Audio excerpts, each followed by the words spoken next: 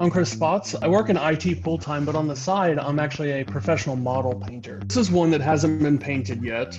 And these kind of details on most printers are really hard to get. There's just a lot of fine grain of her hair, and doing that on the new 4K was just honestly like a little mind blowing.